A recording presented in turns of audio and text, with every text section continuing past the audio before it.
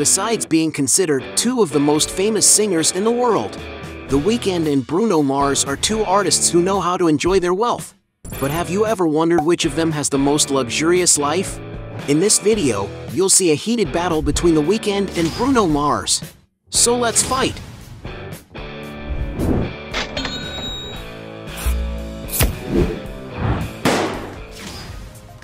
Cars! Both singers invest a lot of money in beautiful cars for their garages, but who owns the most luxurious vehicles? One of Bruno's most cherished models is his Cadillac Allante, an old luxury convertible with a very sporty design for the time, which nowadays can cost up to $40,000. A big Cadillac fan, Mars also owns Cadillac CTS, a more modern and imposing sedan. Its interior has a sophisticated finish, and it is no wonder that its price is estimated at approximately $70,000. The singer has also been spotted driving a Mercedes-Benz G63, a huge car ideal for safe transportation. And despite being a big car, it manages to be quite powerful, which is ideal for Bruno to arrive at his appointments on time. And perhaps this is why its price is around $180,000 and several sources say that the most luxurious car he owns is a Rolls-Royce Phantom, a super stylish large sedan from the German luxury car brand. To own such a car, one may have to fork out more than $460,000. Abel, on the other hand, has been seen in a Porsche 911, a super powerful vintage model. And to buy this car, you have to shell out $75,000. Abel has also been spotted alongside a Mercedes-Benz EQC, a vehicle he purchased after Mercedes sponsored one of his clips with the same car. It seems that he really liked this luxurious SUV that costs around $77,000. Another car in his collection is the Cadillac Escalade, a beautiful SUV that is worth about $80,000. In the clip from Blinding Lights, he showed off another model from his collection, the Mercedes AMG GTC, a super powerful machine that can reach over 185 miles per hour. And to acquire this car, it is necessary to pay out $165,000. The singer has also been caught with his ex-girlfriend in a Bentley Mulsanne, a more practical and comfortable model, showing his versatility when it comes to choosing his cars.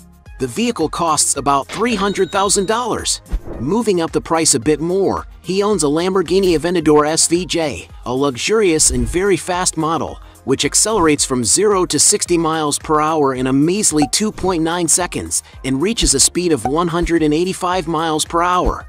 This beautiful machine costs about $570,000. But it doesn't stop there. Abel owns a beautiful McLaren P1, a hybrid and electric motor model that costs a whopping $1,300,000. Not to mention his Mercedes Maybach G650, a pickup truck-style car that features a V12 bi-turbo engine. And to acquire such a model, you have to disburse around $1,800,000. So it's clear that The Weeknd wins this round. Points for him. Luxury shopping. Both artists have plenty of money to spend on whatever they want, but which one spends the most?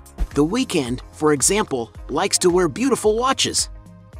One of The Weeknd's favorite models is the Rolex Cellini King Midas, a geometric-shaped model that suits Abel's style quite well, and which costs around $17,000. He has also been seen with the Rolex Datejust Onyx model, a classic and timeless model that reflects the personality of the wearer, with a bezel that is always studded in gold, regardless of the model.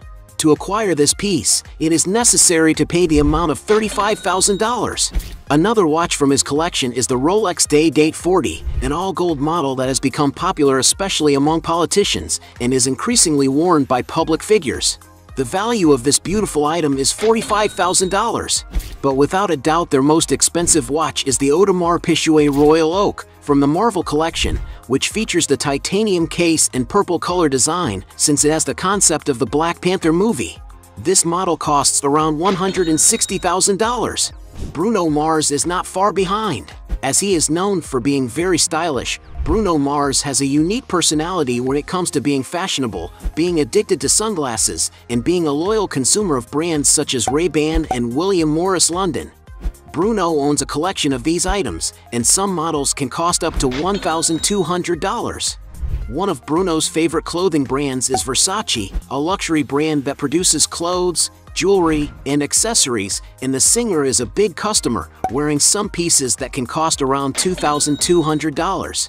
Another luxury of the musician is his beautiful collection of watches that are part of his unique style, owning pieces such as a Rolex Datejust Steel, one of the brand's entry-level models, is very well made for everyday use and costs around $6,000.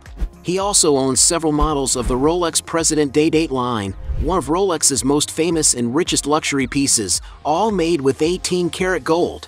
To get the most expensive of this line, you have to pay as much as $9,000. Another of the singer's beautiful pieces is certainly his Audemars Piguet Jumbo Royal Oak, an 18-karat gold watch with gold details.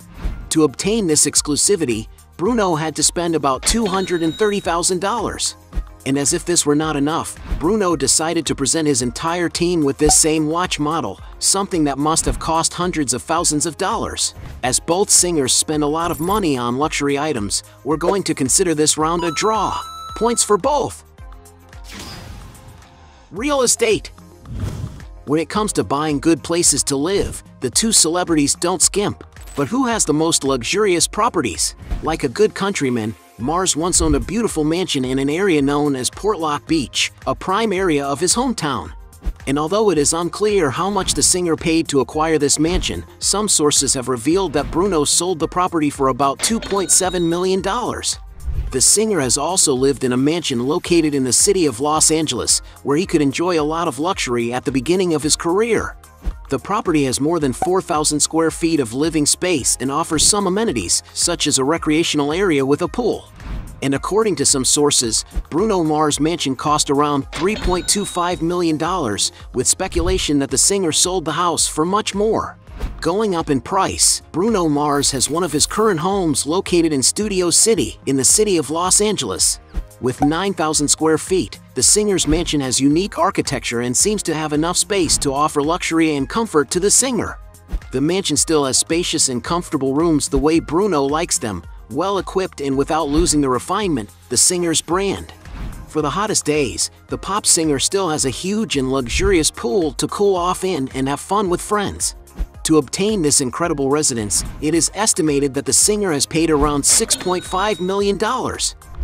The Weeknd is not far behind in this dispute. He once lived in a huge mansion in the celebrity Hidden Hills neighborhood in the city of Los Angeles, California. The house, which is now owned by Madonna, sits on a 2.9 acre lot, with the main building having approximately 11,800 square feet of living space. Inside, the property has seven beautifully decorated bedrooms, nine bathrooms, a yoga room, a wine cellar beautifully lit by LEDs, a cinema, a bar area, and several comfortable and well-appointed lounges where one can gather friends and relax with their family. The luxurious mansion has several leisure options, with it having a beautiful basketball court, a large fitness space for those who love to take care of their health, a heated and enclosed pool area, fully lit by LEDs, and an outdoor space that has an open pool and a fireplace area to warm up on colder days. The Weeknd purchased this property for $18 million at the time, but the house was bought by Madonna in 2021 for the princely sum of $19,300,000. The singer has also lived for a while in a penthouse in the Beverly West area of Los Angeles. The modernly designed property boasts 8,000 square feet, featuring four luxurious and spacious bedrooms with floor-to-ceiling windows that allow for magnificent views. In addition, the house has eight bathrooms that feature a few perks, such as windows with vistas, a hot tub, and even a huge hanging sink. The house also has an exquisite bar, a huge wine cellar, and a well-equipped fitness room, as well as a TV room and a place for just enjoying the beautiful view. The Weeknd bought the venue for $21 million in 2019, but sold it two years later for the small sum of $22,500,000. He also owns a huge mansion in the Bel Air area of Los Angeles. The property has about 1.6 acres of lot, with 18,000 square feet of building area. The house used to have an older style, with a more rustic decoration, having many decorative details and even furniture in darker colors. The lighting and mirrors also contributed to give this vintage look. The place has 8 bedrooms and 11 bathrooms. But when it was bought by the music star, the mansion was already very different and must have undergone numerous renovations. The outdoor area is really stunning, and The Weeknd has even shared several recordings in which one can get to see the dimension of the place, including a video of his dogs playing in the flowers. To acquire this lush property, the singer shelled out some impressive $70 million. Considering the value of the properties, Abel wins this round hands down. Point for him. Aircraft. Both artists like to use beautiful aircraft when they need to travel, but which one has the most expensive jet? The Weeknd has been spotted, for example, on a Boeing 737 BBJ model jet, an executive jet with enormous flying range, reaching over 8,000 miles, the longest range for any 737 model jet of any generation. The aircraft can carry over 160 passengers and features a fully customized interior. To acquire this model, you have to shell out the princely sum of $100 million, but the Weeknd is likely to be chartering the vehicle, which is still certainly not cheap at all. Bruno Mars, on the other hand, is rumored to have once owned a Gulfstream G550, one of the safest and best performing private jets in the world, capable of reaching speeds close to the speed of sound. Not to mention its intercontinental range, which allows it to travel long distances without the need to stop for fuel. The interior of the jet is very comfortable and luxurious and can hold up to 19 passengers depending on the configuration adopted. This aircraft is so exclusive that there are only about 100 units of it in the world, and of course, to own one, it is necessary to invest a real fortune. And if Bruno Mars does own this aircraft, he may have invested around $40 million.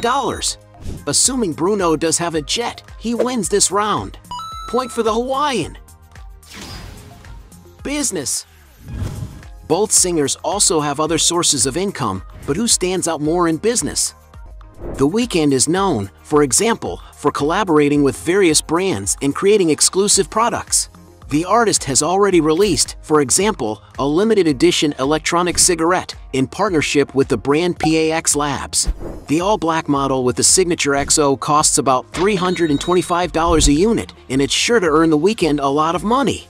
In addition, he has also created a clothing collection with renowned fashion designer Alexander Wang, where the pieces were inspired by the themes of his album Beauty Behind the Madness, and the prices reached up to $575 per unit. However, in 2016, he was named a Puma ambassador and released several collections with the brand, a contract that must not have been cheap at all. Another way to make money with advertising is with social networks. On Instagram, The Weeknd has over 40 million followers, where he can endorse brands and promote his new projects. Not to mention that Abel also enjoys venturing into the world of acting, having even participated in the Adam Sandler movie Uncut Gems.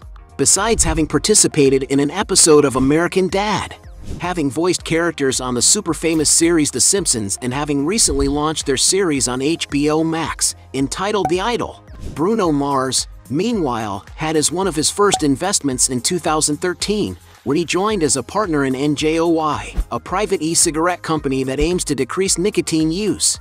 The singer is also co-owner of SelvaRey Rum, a rum brand from Panama founded in 2014 that seems to be doing very well on social media. Proof of this is that on his official Instagram alone, he has over 100,000 followers. And for those who want to purchase and try the drinks, you may have to pay up to $140 for each bottle. And to show that he is a Trendsmart investor, Bruno has already invested in the company Chromatic, a music app to help students and musicians compose and create their songs. Recently, Bruno has decided to change his market focus a bit, moving into the fashion industry. Under the name Ricky Regal, the musician has launched a line of 70s-inspired sportswear with Lacoste. And because he is much loved in Hollywood, the musician is always invited to star in some commercials and even participate in the dubbing of some animated films, such as the movie Rio, where he was paid a handsome fee. And because it's difficult to determine the turnover of each business, points for both. Net worth. Everyone knows that artists have made a lot of money, but who has the biggest accumulated fortune? Bruno Mars, for example, is one of the best-selling singers in the world at a time when record sales made a lot of money for singers. He has sold more than 100 million copies, which probably earned him hundreds of millions of dollars. Today, with digital platforms, he continues to make a lot of money. But for sure Bruno's biggest income is the concerts he does around the world. His 24K Magic World Tour, for example, was considered one of the highest grossing tours of all time. It is estimated that he has grossed more than $380 million from more than 200 shows around the world. This means that each of his concerts made around $1.9 million. And although no one knows for sure how much Bruno Mars' fortune is worth, it is estimated that with all his earnings, the singer's net worth after paying all taxes is around $180 million. Not bad for a singer who is only 37 years old, is it? The Weeknd, on the other hand, is not far behind. One of his biggest able sources of income comes from his concerts. In the year of the tour with his album Starboy, for example, he collected about $1 million in each city where he performed, so his total profit must have been gigantic. With the popularization of the internet, singers are also receiving fees for playing their songs on various music applications, which is a great source of income. To get an idea of the artist's earnings, in 2017 he appeared on the cover of Forbes for having made an impressive $92 million this year alone. Added to all his businesses and hugely successful career has earned him a net worth estimated at $300 million. A very high figure indeed, and one that will only increase. And because he has a bigger fortune than his opponent, The Weeknd wins this final round. Point for him. At the end of this fight, we had 3 points for Bruno Mars against 5 points for The Weeknd, making him the winner of this battle. But if you think there are still other arguments to defend one of the two, write your best justification below. Hey, you like the video? So don't forget about leave your like and comment, and tell some suggestions of another videos, and hopefully we gonna do it. All about channel, Dios to satisfy your curiosity.